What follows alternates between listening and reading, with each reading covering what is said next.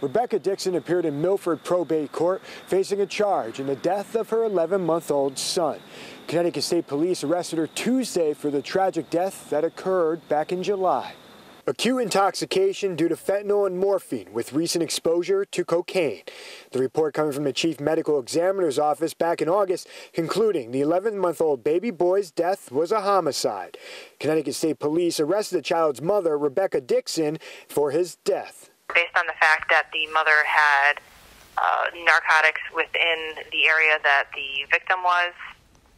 Um, prior to the victim's death, the mother had been using as well. On July 6th, state police were called to Dixon's home after her child was found unresponsive.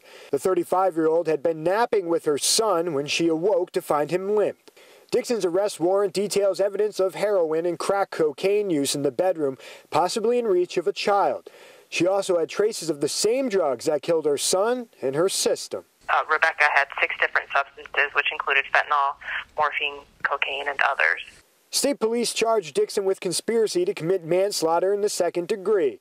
The baby boy was just a few weeks away from his first birthday. This is a tragedy beyond any any imaginable proportion. Since 2018, the state of Connecticut has reported at least five accidental overdoses in teens or children.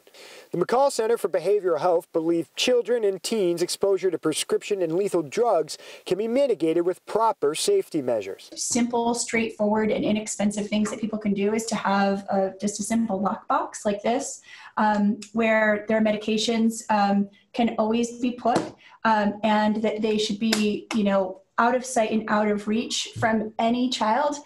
Maria Skinner says a simple measure isn't only good for young children, but also teens. She says substance abuse often begins with diversion of drugs. When you're done with your prescription, that you dispose of it. You can bring it to a drop box in a police department, um, or you can put it into a, um, a deterra bag or another bag that um, safely disposes. Dixon's arrest warrant also states that her son was exposed to drugs in the womb. Her bond was set at $100,000. To learn more about the McCall Center and their services, head to fox61.com.